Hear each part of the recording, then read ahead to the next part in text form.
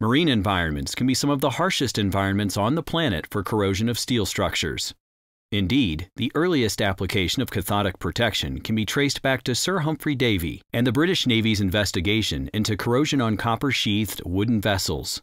This video demonstrates Matcor's impressed current sled anodes that are successfully being used to protect steel piles for jetties, docks, and other similar steel structures in marine environments. The Matcor sled anode consists of two or more mixed metal oxide tubular anodes housed in durable Schedule 40 PVC pipes with concrete end caps. Manufactured at Matcor's ISO 2001-2015 certified facility in Chalfont, Pennsylvania in the USA, these anodes have been used to protect marine piling structures from Florida to Alaska to Indonesia. These anodes are available in a wide range of configurations and outputs and ship ready to install without any field fabrication required. This trade show model illustrates how the sled anode impressed current system operates. The structure being protected in this model is fabricated from coated steel tubes not much different than many marine piling support structures. Here we have a working model using a quarter inch MMO coated titanium rod anode protected inside a PVC housing with holes to allow the anode to be in contact with the seawater electrolyte. The sled anode lead cable is connected to the positive terminal of a small DC power supply. The steel structure is connected to the negative terminal of the power supply. A copper-copper sulfate reference electrode is strapped to one of the piles for testing the pile potential. With the power supply off, we can measure the native potential with no current applied to the structure. With the system completely off, the native potential is negative 770 millivolts. After energizing the power supply and adjusting the output to approximately 2 amps, we can measure the on potential of the structure, which in this case is negative 1840 millivolts. Interrupting the power supply yields an instant off potential of negative 1200 millivolts. This is the polarized potential of the structure and meets both the 850 millivolt off criteria and the 100 millivolt polarization criteria. Matcor has successfully installed many cathodic protection systems to protect steel pipes for jetties and other marine structures. Take this jetty structure in Indonesia. This jetty is constructed with four interior rows of concrete piles and an exterior row of 247 bare metallic piles. They are driven into the seabed to a depth of 15 meters with 6 meters in the water, and they are covered with a concrete cap.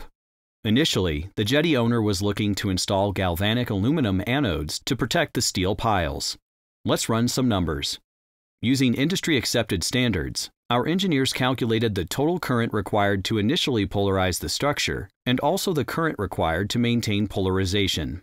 Based on that, we were able to calculate the total mass and quantity of anodes required for the desired 30-year service life. A total of 374 aluminum anodes, each weighing 200 kilograms, would be required to be installed. Each of these anodes would need to be welded to the structure using professional divers trained in underwater welding. Matcor suggested an alternate approach using the sled anode impressed current system. The use of sled anodes significantly simplified the installation, reducing costs and offering a much safer installation.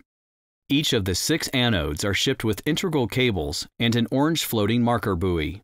The anodes have lifting pads cast in the concrete to allow for future removal of the anodes for any dredging operations that might be required. Each anode was rated for 175 amps continuous service for 30 years, However, the actual operating output required to meet NACE criteria was less than 120 amps each, assuring an even longer anode life. The actual installation took only three days. You can see the sled anode being lowered by an onshore crane. The anodes will be located at approximately 8 meters depth. The six sled anodes on this project were connected in pairs to one of three oil-cooled transformer rectifier units installed on the jetty. These rectifiers are rated for 45 volts and 375 amps of DC current output. Once commissioned and given several weeks to sufficiently polarize the jetty structure, a Matcor NACE CP3 certified engineer visited the site to perform testing to confirm the proper operation of the cathodic protection system.